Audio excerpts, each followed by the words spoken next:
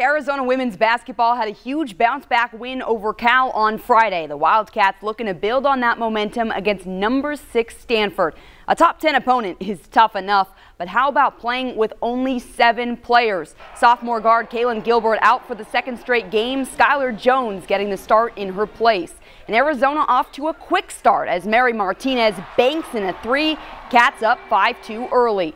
Stanford has a sharpshooter of its own, Hannah Jump one of four in the first half. Cardinal up 21-12 after one, but Arizona playing scrappy. Helena Pueyo gets the steal, dishes it to Jones, who lays it in. Wildcats within eight.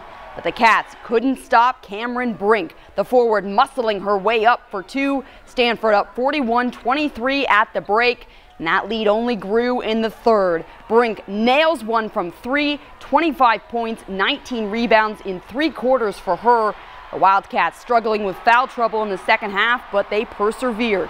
Players like Courtney Blakely stepping up off the bench. She had a career high 24 points tonight, but it isn't enough. Arizona falls to Stanford 96 64.